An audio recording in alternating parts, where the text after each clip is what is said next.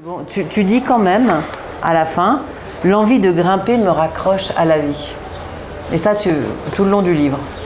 Ah oui, oui, ça, c'est. Donc- Pour, pour- pour beaucoup de grimpeurs, je pense qu'à un moment donné, euh, c'est des, pratiques, choix, des pratiques thérapeutiques. Ouais. C'est-à-dire que ça, dans, la, dans la vie, ça, ça sauve.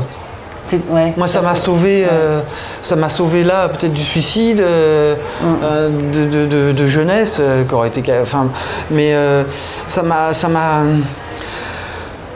Hum, oui, ça, ça- ça sauve. Moi, ça m'a sauvé de la, de la, de la dope aussi, de la, de la drogue, de pas tomber dans En la. fait, c'est une addiction, c'est une autre addiction. C'est une autre grimper. addiction. Ouais. Bon, voilà.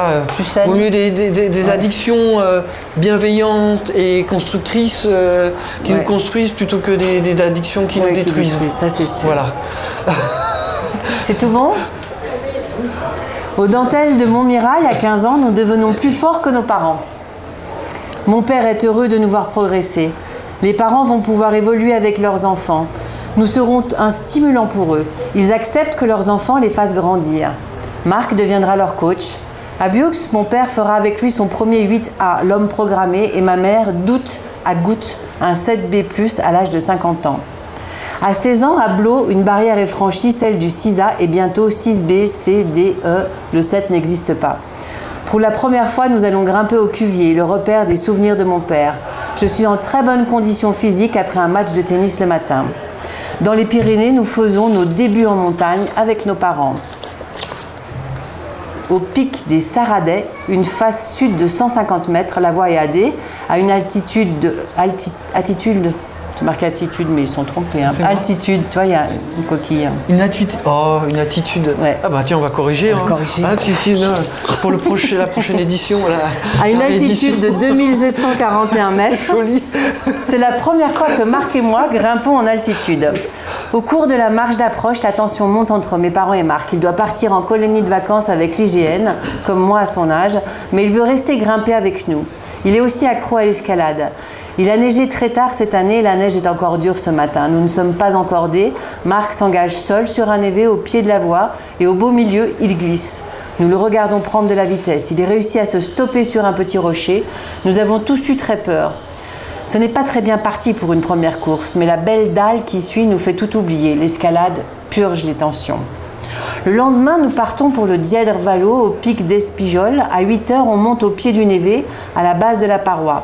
Le temps est incertain. Un montagnard est devant moi, il fait partie d'une autre cordée, il est muni d'un marteau piolet. Il me précède dans la neige gelée du névé, il passe l'arrimée et je le suis. Je ne suis pas encordée, je n'ai pas de piolet, je suis le premier de notre groupe. Soudain, le pont de neige se brise sous mes pieds. J'ai le réflexe, le réflexe d'écarter les bras pour tenter de me retenir. Une main sur la neige, une main sur le rocher. Heureusement, une plateforme m'arrête à 4 mètres plus bas. La faille continue sur 20 mètres de plus en plus étroite. Angoisse des parents et peur très forte pour moi. Nous repartons dans la vallée sans avoir trouvé le départ de la voie.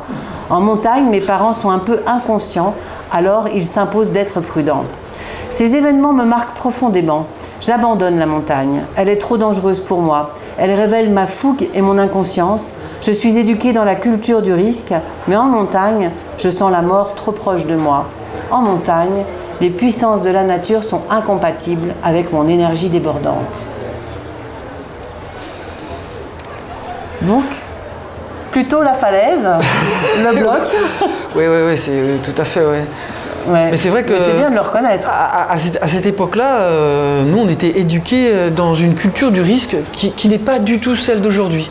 Le, le rapport au risque a complètement, euh, a, beaucoup changé en, en- en- en 30 ans.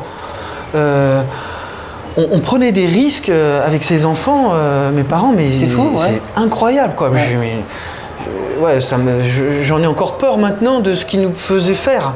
Ah ouais, avec le Bah oui, mais partir sur un évé Ouais, ouais. sans être encordé en. Rien du tout, ouais, en- c'est- mais c'est incroyable. c'est n'importe Mm. quoi en fait. C'est donc ils étaient très dangereux.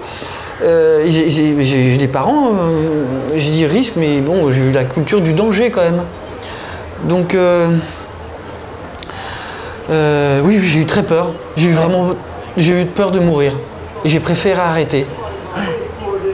Parce que Parce que ça a été une des- de mes premières euh, descensions quelque part, de me dire ah non, je re- même si je j'adorais la montagne, Hein, on voit que j'adore la nature, le rapport à la. ouais. Mais j'ai préféré ne, me, me limiter pour, euh, pour, pas, pour pas mourir. C'est c'est une autre culture en fait, hein, la montagne, c'est que, que, le- que la grimpe. En fait, c'est ouais, encore autre chose. hein. C'est pas incompatible, mais, mais je comprends. Et c'est pour ça que là, à ce moment-là, euh, il y a eu la naissance de l'escalade libre. Et donc, ce- peut-être que tu vas en parler. Ouais. Et c'est ça qui va me faire pé- pétiller le, le- le cerveau, quoi. C'est que euh, il y a quelque chose qui s'invente. Mais en même temps, tu as une personnalité aussi euh, différente. J'ai 16 ans, sur le chemin du lycée, je longe les murs sales de pollution. J'ai des couleurs intenses et constantes à la tête. Je me prends la tête dans les mains, ma mère est très inquiète, me soumet à une batterie de tests cliniques en, vain. J'apprends par cœur des poèmes de Rimbaud, Baudelaire, Mallarmé. Je marche dans la rue en récitant ces poèmes qui sont comme des bouées de sauvetage pour ne pas sombrer dans mon mal-être. J'ai une poussée poétique comme une décharge d'hormones. Je n'en comprends pas l'origine. Dans mon fort intérieur, je voudrais être un poète, mais je trouve cela prétentieux. Il m'est impossible de formuler ce rêve à moi-même et encore moins aux autres. Chaque année, depuis l'école primaire, je passe dans les classes suivantes avec juste la moyenne. Je suis médiocre, mais avec des possibilités, comme l'écrivent souvent les professeurs. J'ai même des notes en dessous de zéro en orthographe. Je suis humiliée en pleine classe. Je suis restée mauvais en orthographe. Je n'aime pas les examens. Je n'ai pas confiance en moi. J'ai les mains moites. Mon stylo me glisse des doigts. Mes pages sont imbibées de sueur et parsemées de pâte mouche. À la maison, après les cours, je passe des heures seule à mon bureau et j'alterne mes devoirs calvaires avec mes dessins libérateurs. Je découvre le surréalisme et surtout Magritte. Je sens que les études pompent mon énergie. Le soir, j'écris parfois des poèmes. Dans ma ville, je longe les murs en solitaire. Au pied du mur, des grappes humaines s'attardent sans raison. Elles génèrent en moi un malaise attirant. J'écoute ma souffrance, le chant de la mort ne parvient pas jusqu'à moi. Une senteur sylvestre pénètre mon corps, en moi, un danseur est né. En tout cas, tu sais écrire, tu sais connais pas l'orthographe.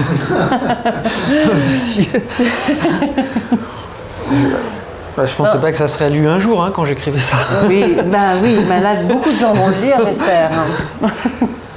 Non, mais je sais pas, de, de lire ça, euh, ça, me, ça, me, ça me touche encore. Ben oui, ben oui, parce que tu, tu parles en plus sans, sans filtre. Donc, euh, tu, et, c'est d'une telle sincérité, c'est enfin, touchant. Quoi. Non, parce que voilà, mon père, il est polytechnicien, ma mère, elle est gynécologue. euh, voilà, on va Qu'est-ce voir. qu'il attendait de toi? Bah, euh, il voulait que je fasse des grandes études. Hein. Mais enfin, oui, il t'a emmené Bah oui. grimper aussi, mais enfin bon, enfin, Oui, mais... ouais. oui, mais là, ce que, ce que je voulais dire, c'est que euh, j'ai- il n'y avait pas, je pas dans une culture euh, qui allait m'amener à, à la- à l'artistique. Ouais. Et c'est qu'en en, en fait, euh, je- j'ai, oui, j'ai des décharges poétiques. euh, je ne sais pas d'où ça vient. Je, ne comprends pas ce qui m'arrive. Ouais, ouais. Comme à l'adolescence, on a des poussées d'hormones, là, ça pousse de partout. Qu'est-ce qui nous arrive On change de corps, on change de. Ben, c'était, de cet ordre de là, de, de. Et je sais toujours pas d'où, ça vient en fait. Mais je Mais, crois mais y a. tu ne savais pas l'exprimer à l'époque. Ah non, non. Parce que dans J'ai ta famille, honte il n'y avait de, pas. de me ouais. dire que je. Même, même aujourd'hui, enfin, me dire. euh, Bon, quand même. euh, et quand même, le mot, po- le mot est poésie, euh, encore ça va, mais de. De se dire qu'on veut être un poète, c'est pas pareil. Hein, ouais, ouais, pour moi, écrire de la poésie, mais être poète, c'est pas seulement écrire de la poésie, Ouais. c'est un état d'être. C'est au-delà de l'artiste, c'est un, état d'être dans le monde. monde, Oui, oui, oui, au monde. vrai. Mm. Et, et c'est pas seulement écrire, c'est être, c'est vivre les relations, c'est vivre euh, sa vie euh, en. Bah après, j'ai découvert Oderling qui dit habiter le monde en poète. Ouais. Donc euh, oui, j'ai compris qu'il y en avait d'autres avant moi euh, qui, Qui ont ressenti ça. qui ont ressenti Ouais. ça, et ça m'a fait beaucoup de bien de me dire, euh, oui, il y en a, ils, ils souhaitent vivre en poète. Et donc il fallait, fallait que tu, tu arrives à concilier tout ça avec euh, ce que tu vivais aussi, enfin bon, euh, avec l'escalade, avec d'autres choses. Enfin, Bah oui, avec la compétition, avec Ouais. le monde scientifique dans lequel mes, mes- mes parents étaient, euh, avaient un côté compétitif parce qu'ils venaient, comme je le dis, ils venaient un peu de la haute. quand on vient un peu de, de ces milieux-là, un peu de la, de la, de la noblesse, Il faut tenir son rang. Eh ouais, eh ouais, il y a une exigence, de tenir. Mais c'est vrai, en Ouais, plus, hein, on- on- vis-à-vis de l'éducation, euh, vis-à-vis de. Il y a une exigence, de, oui, tout à fait, de tenir son. Exactement. Et donc j'avais cette pression-là.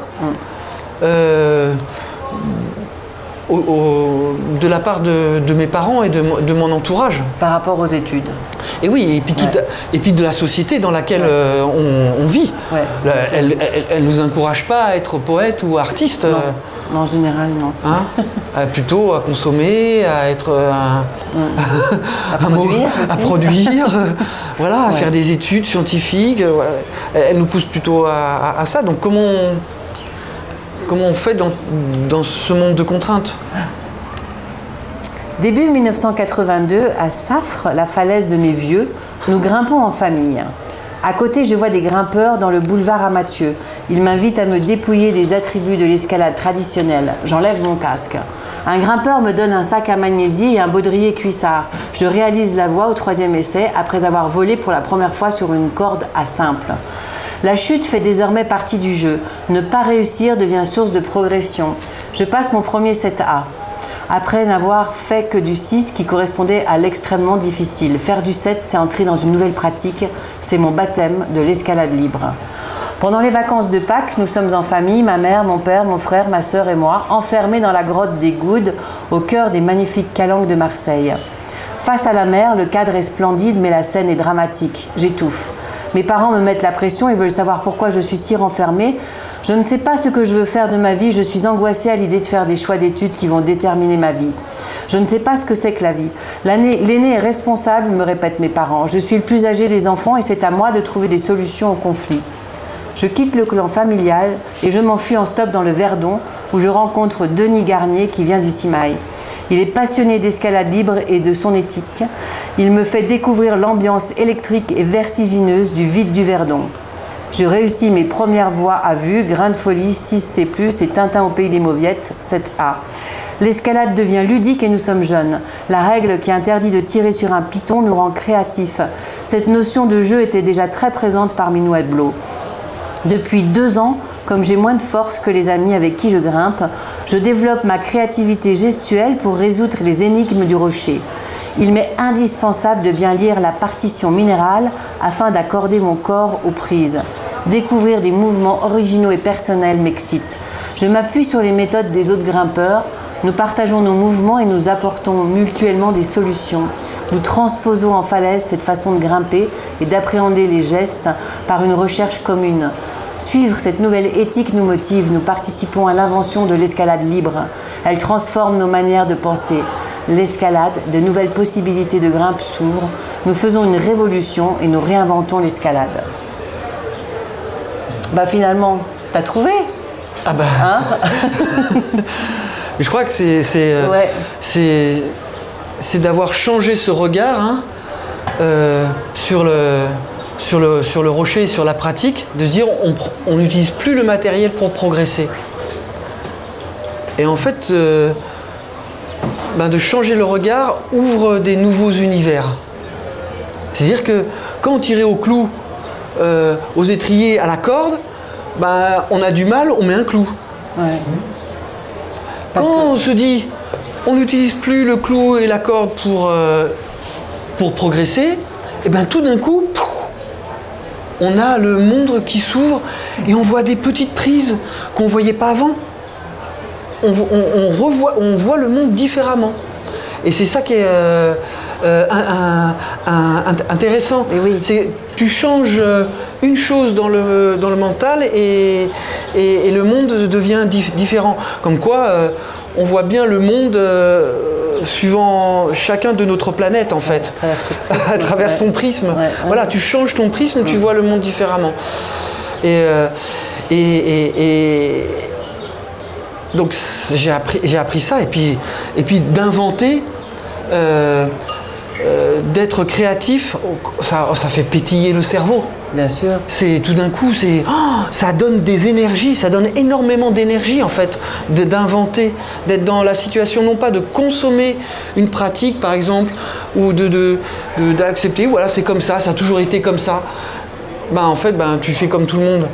Mais si voilà tu, tu inventes, c'est génial. Et, et- et cette pratique là, ben là, je, viens de l'expérimenter euh, sur la glace. J'ai fait pareil. J'ai dit, on arrête euh, les piolets et les crampons.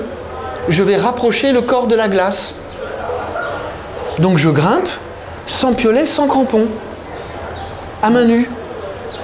Ou avec des... quand même. Hein. Non, je me suis autorisé, euh, je me suis autorisé euh. les- des chaussures. Je prends des chaussures d'athlétisme avec des pointes. Ah, quand même, ouais. Je me suis interdit, par exemple, là, je me suis dit, je m'interdis de frapper la glace, la beauté du monde qui est en train de fondre entre nos doigts.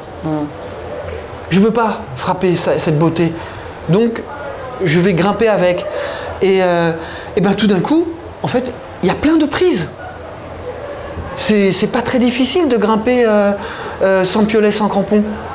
Non, non, mais Sur la glace, ouais, quand même. Ça c'est pas si difficile que ça. Il y a, on, peut, on peut vraiment faire beaucoup, beaucoup de choses. Ouais, ouais. Avec des, des- des chaussures à pointe, des gants de soie.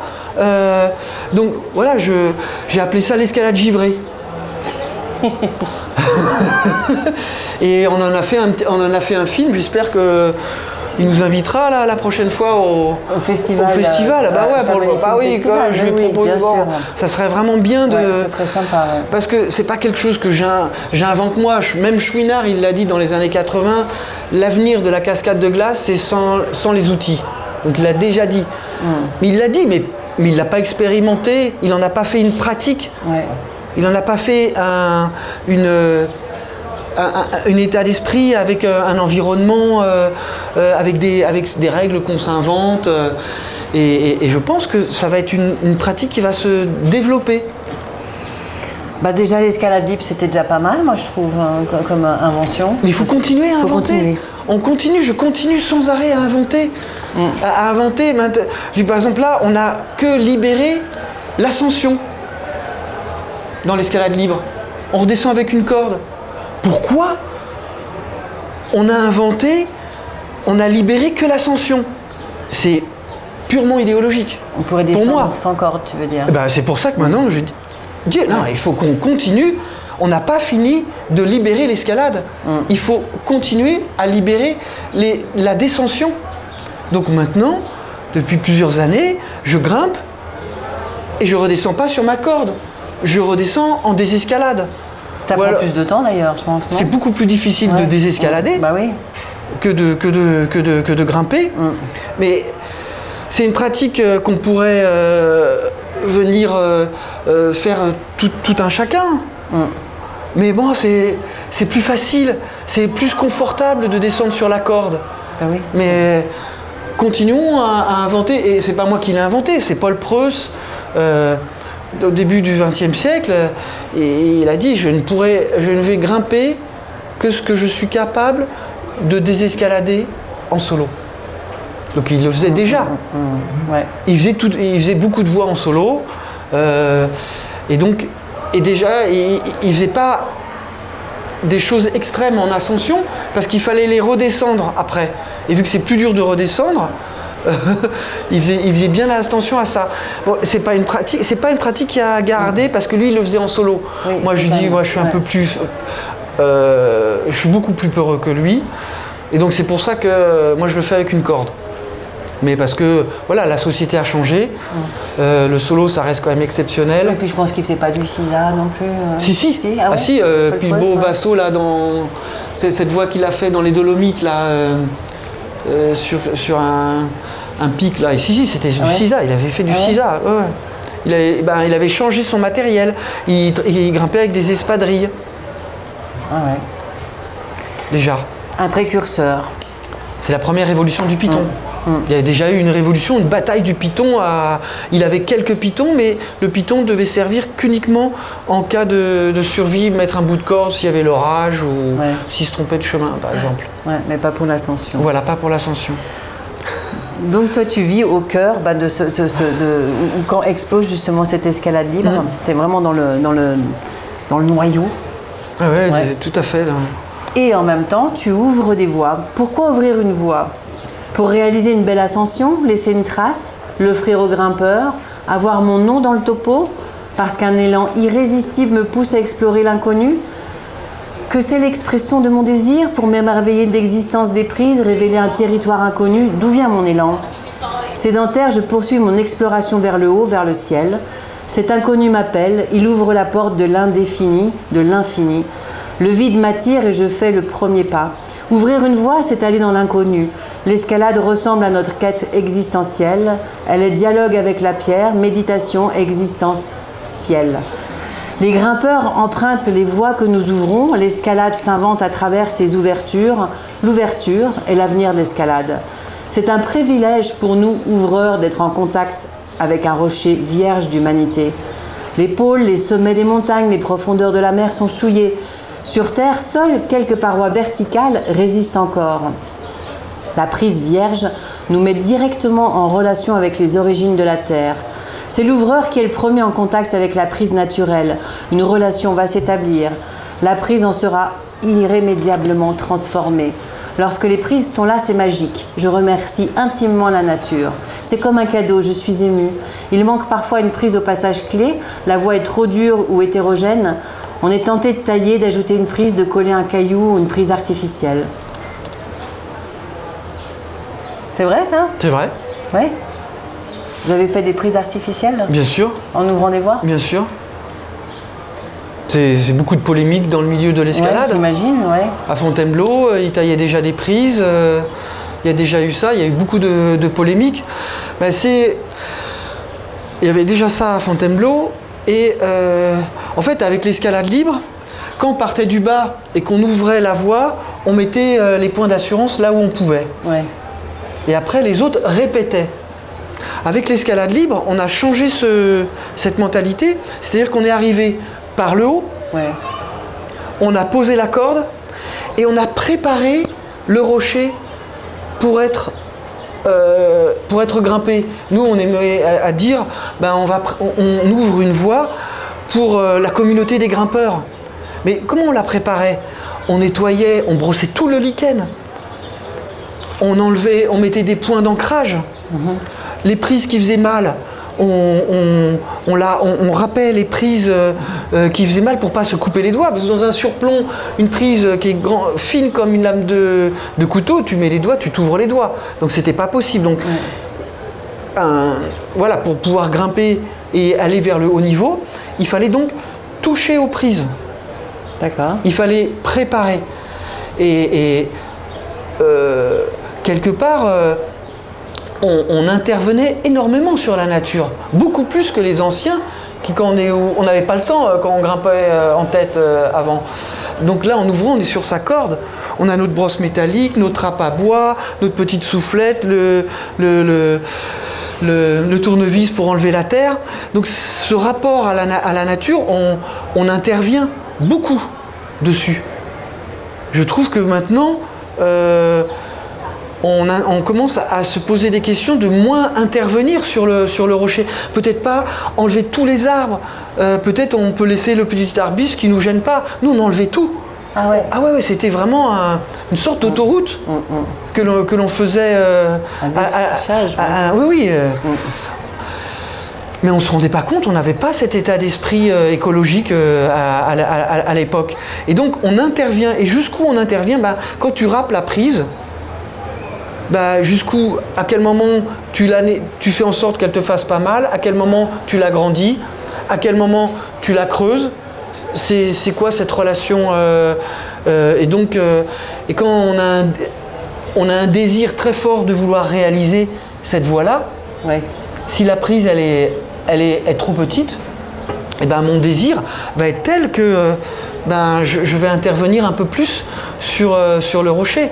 Alors on se limitait on se l'interdisait, on, disait que c'était pas bien.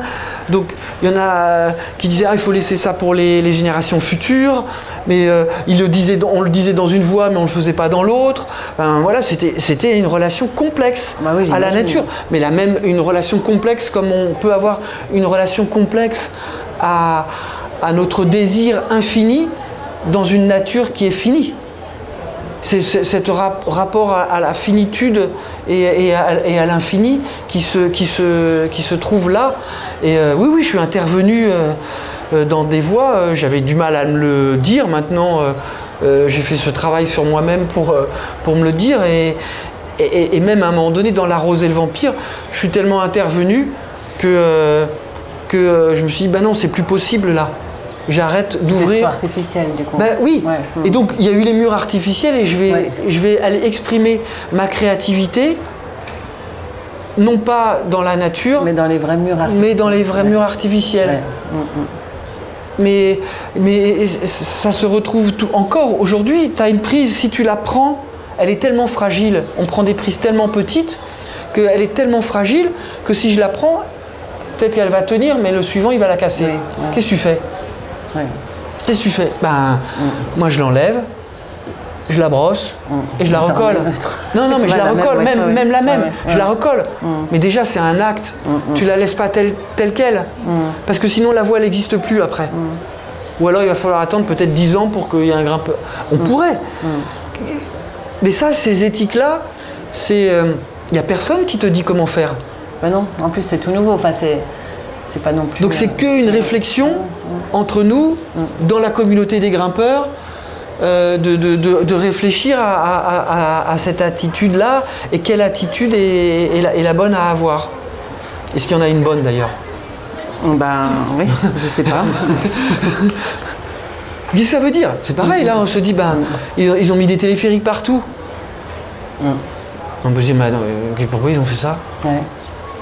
Pour rendre accessible à tout le monde. ouais, Pour rendre accessible. euh, pourquoi tu pars Bon, il y, pas a quand pour- même- il y a quand même un côté financier derrière, hein, quand même. Ouais, mais- pas non plus. Oui, mais tu peux, avoir, tu peux aussi avoir un côté Oui. financier dans le sens de reconnaissance, Oui. mm. qui n'est pas du financier, mais un côté de reconnaissance, ou de faire une voie difficile euh, pour pouvoir être reconnu euh, d'avoir fait cette, Ouais. cette, cette voie-là. C'est une autre façon de. C'est pas financier, mais avec le sponsor qui est derrière, jusqu'où tu vas Ouais. Bah justement, on va parler de reconnaissance.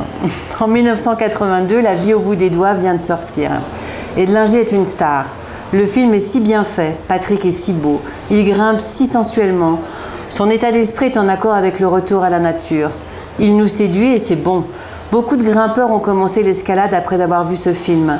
Il promeut des belles valeurs de l'escalade libre, la passion, la simplicité, le plaisir du geste, l'exigence. Il dit que l'escalade est une danse, mais que reste-t-il de cet esprit aujourd'hui? Patrick Edlinger est connu, il fait briller l'escalade libre sur toute la planète et nous, nous devenons des grimpeurs qui font comme Patrick. Une star est un trou noir de la communication. Je me rends compte de la différence entre la réalité sportive du terrain et le récit que les journaux en font. Lorsque nous, les autres grimpeurs, nous permettons une remarque, nous sommes immédiatement traités de jaloux. Comme vous pouvez encore le penser en lisant ces lignes. C'est délicat de parler d'une star. Vous avez tellement rêvé à son propos. Je choisis ici de dire ce que je ressens et qui a façonné ma vie. Patrick est devenu le personnage de la vie au bout des doigts. Cette image lui colle à la peau. Il est devenu le gardien de son image. Dans le film, Edlinger emprunte les mots de Béraud. Je ne fais pas de solo sur commande, mais il grimpe en solo avec plusieurs caméras autour de lui. Est-ce un documentaire ou une fiction? Les deux à la fois, et c'est ce qui fait sa puissance. Je ressens que Patrick souffre de s'accrocher à son image. Je ne veux pas de ce décalage entre mon image et moi-même. Être ou paraître, c'est la question. C'est donc à moi de refuser cette place. Si on tente de me mettre sur un piédestal, je pose des questions. Je ne veux pas être connu, mais reconnu pour mes performances. Nous nous sommes plusieurs fois croisés avec bienveillance et jusqu'à la fin de sa vie, Patrick m'a répété, tu vois, je n'ai pas changé, je suis toujours amoureux de l'escalade. C'est vrai que dans ces années-là, il y avait une star, alors qu'il y avait beaucoup d'autres grimpeurs, comme tu dis, qui grimpaient tout aussi bien. Mais ça reste, ça reste un phénomène. La star, c'est le sommet de la montagne. Ouais. Et pour avoir une star, une star, il faut avoir une base. Mais euh, voilà, c'est c'est ce que je décrypte euh, par, rapport, euh, par rapport aux journaux et que, les, que la médiatisation, le star system, préfère parler d'une personne unique. C'est comme si c'était plus facile Ouais. que de parler d'un groupe. En plus, nous, on était dans un groupe. On était le- la bande des Parisiens.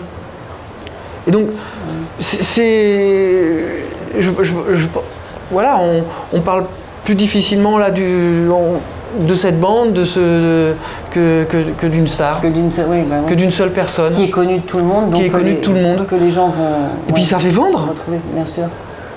Tu mets, tu mets 5 personnes sur une couverture de journal, euh, c'est pas ça qui va faire vendre. Alors que tu mets une personne euh, qui est suspendue par un bras, bah, ça va être plus vendeur. Donc il y, y a quelque chose de- du rapport là, du Star System à, à, à- à l'économie. Et en même temps, il a vraiment développé, enfin, il a fait parler de l'escalade libre un peu partout. Quoi. Ah mais c'est ce qui a fait Ouais. découvrir, c'est ce qui a fait connaître l'escalade libre qu'on était en train d'inventer. Ouais, ouais. C'est-à-dire qu'on c'est une invention l'escalade libre. C'est une nouvelle façon de, de- de- qui s'invente avec des règles, euh, le à vue, le après travail. euh, euh, voilà, il y a- y a- y a- il y a- je ne vais pas rentrer dans les détails, mais il y avait plein de, de- de- de règles qui, qui- qui s'in- qui s'inventaient.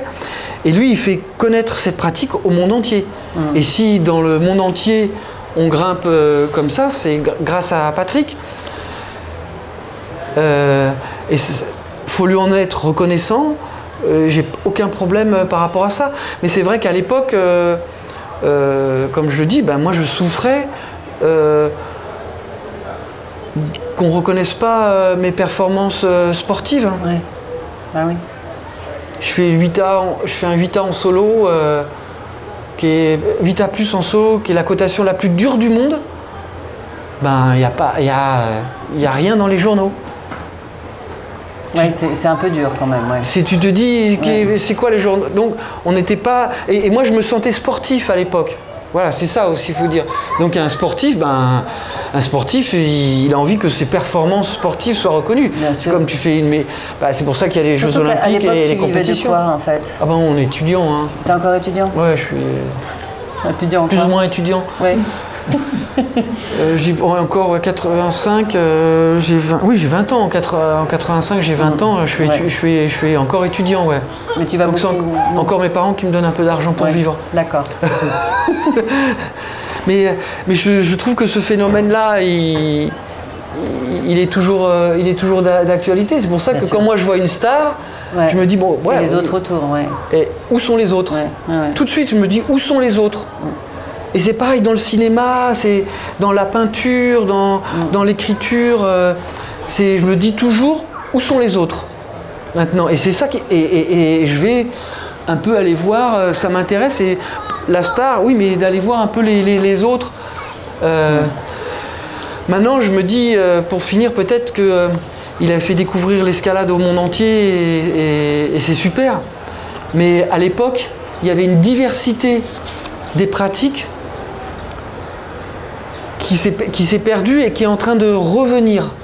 C'est-à-dire qu'à l'époque, dans le monde entier, on grimpait euh, d'une façon différente en Angleterre, en Allemagne, aux États-Unis, en France, en Allemagne de l'Est.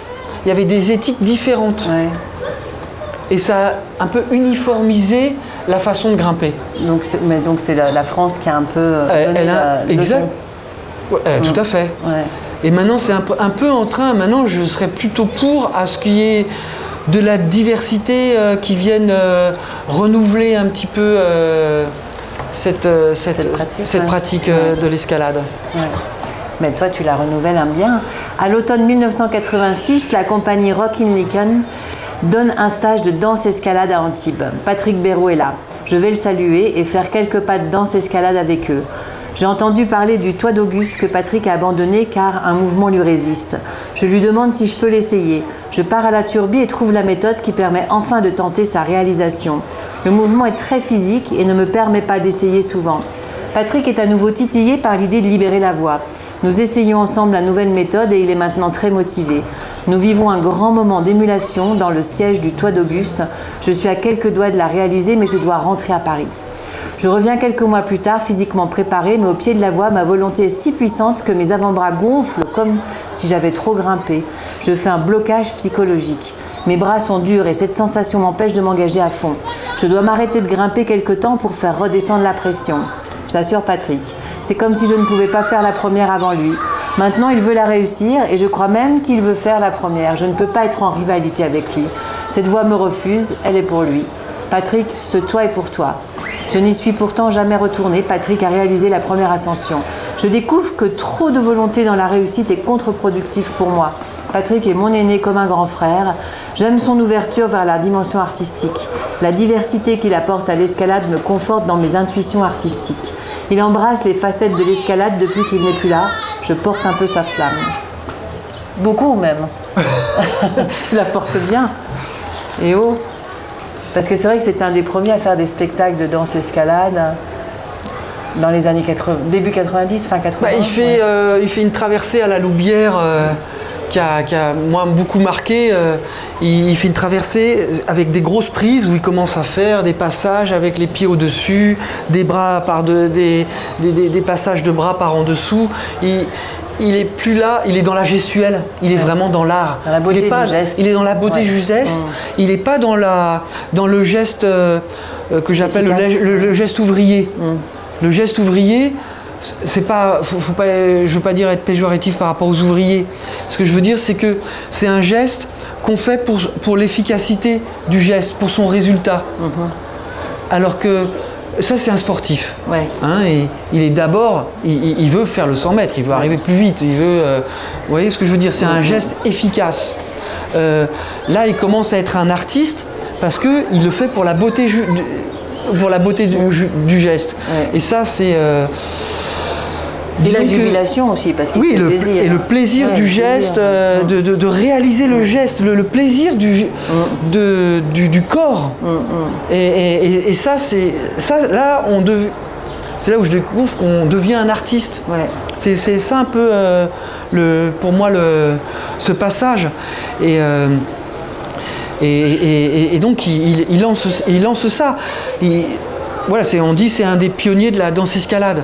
Mais, euh, mais comme j'ai dit, il y en a, il y en a, il y en a- d'autres avant lui. Il y a Roy Lloyd euh, avant lui. euh, Le film, euh, regardez Safety Last, le, le- le film où il grimpe à. Il est déjà dans de la danse escalade et c'est 1923. Oui, mais. Ouais, non mais. Ouais, Eh oui. Et les, et les chamans qui grimpaient sur les totems, c'est bien avant. Donc, donc, euh, euh, et puis quand tu regardes un peu, il y a de la danse verticale euh, déjà en Nouvelle-Zélande. il y, avait la danse, du so- le- la danse du soleil autour d'un mât. Ils faisaient des voltiges autour d'un mât. voilà, donc il y a des choses qui existent. On, on- on réinvente, on, on réinvente. Ouais, ouais, ouais. Et donc, ça t'a vraiment inspiré. Enfin, lui, c'est un autre Patrick, mais qui t'inspire plus, peut-être que. Ah mais les- j'ai eu trois Patrick moi qui m'ont inspiré. Et le troisième, c'est qui Patrick Cordier. Ah oui, Patrick Dont Cordier. je- dont Alors, je lui- parle, euh, dont je Patrick parle aussi, Cordier, il euh, était plus sur la trace, lui, sur. Ben, lui, il m'a inspiré. Moi, je suis venu faire des expériences euh, ici à, à l'ENSA. Il a travaillé sur la signature du grimpeur. Il, il s'est posé la question qu'est-ce qu'un bon grimpeur Et pour ça, à l'époque, il n'y avait pas les. il n'y avait pas tous ces instruments. hein.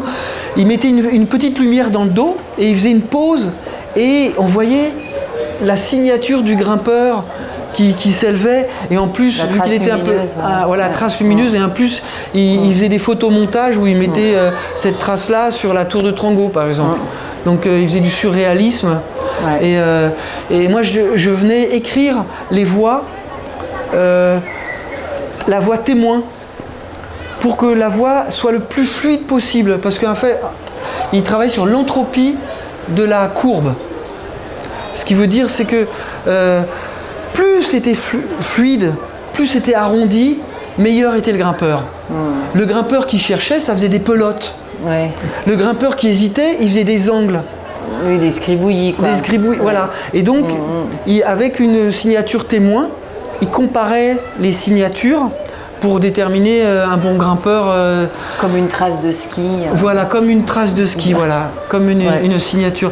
Et ça, il m'a, beaucoup inspiré sur, euh, sur la, oui, sur la, la- la- la- aussi la trace que l'on laisse. Et puis, et puis, et puis, donc on va pas tout, tout dire parce qu'il est déjà 7 heures, mais après, il y a, tu fais des solos. Après, il y a les compétitions. Et dans les compétitions, quand on commence à avoir des compétitions, tu t'engages à, à- tu signes le manifeste pour dire moi, moi, je suis contre les compétitions en, en escalade. Bon, après, tu as changé d'avis. Mais sur le coup, tu étais contre. hein. Mais je suis, ouais, j'étais contre parce que euh, à l'époque, on, on a, la pratique, elle était marginale. Ouais. Il y avait deux personnes qui vivaient de l'escalade, hein, Patrick Béraud, Patrick euh, Linger. hein. Ouais. Nous, le reste, personne vivait de l'escalade. Le Il n'y avait pas de brevet d'État, il n'y avait pas de cordiste qui répare les façades. il n'y avait pas euh, d'enseignement. Il n'y avait que les guides, quoi. Il n'y avait que les guides qui vivaient de, de l'escalade. Il n'y avait au- aucun autre moyen.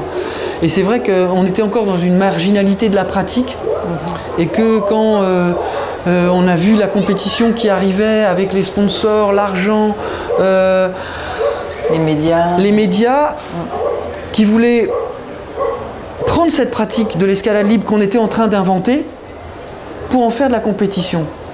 Quel- comment tu te sens? Tu, te sens dépossédé? Ouais. tu sens que la société capitaliste, elle arrive. Oh bah attends, c'est super ce que vous faites. Moi, je vais en faire du, de la, Ouais. je vais faire de l'argent Sur votre dos. avec euh, votre pratique, qui pour nous était une super pratique, une belle pratique. euh, euh, Oui, avec une éthique. voilà, avec une éthique, des valeurs.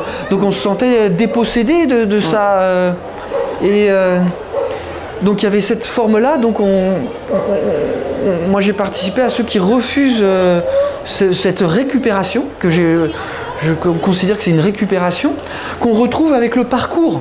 Avec un cas là aujourd'hui, le mot a été racheté par la, par la gymnastique.